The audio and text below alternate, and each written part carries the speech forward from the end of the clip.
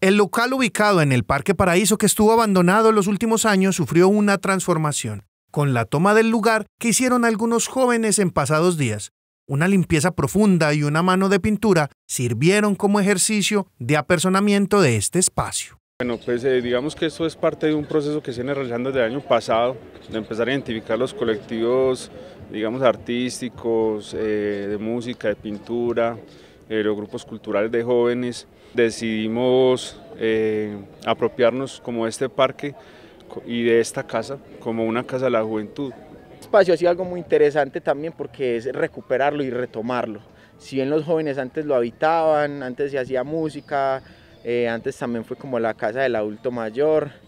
Eh, en cierto momento se volvió un espacio de consumo, tristemente, y que es pues, muy cercano, que pasan muchos niños, que juegan en aquel otro sector. Entonces, pues como hemos venido concientizando a los pelados de que este no sea un espacio de consumo, sino que sea un espacio para el arte.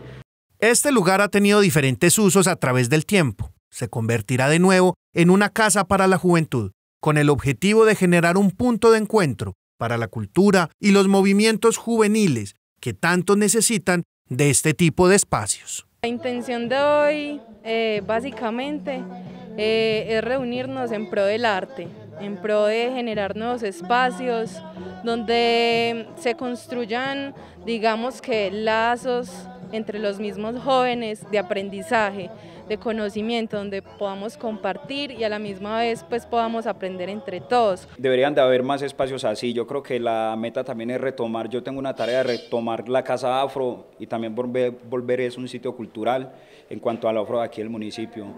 Combatir el consumo de drogas desde alternativas culturales y expresiones artísticas es una de las misiones de este espacio, que servirá como epicentro de todas las expresiones juveniles que suelen estar marginadas y relegadas.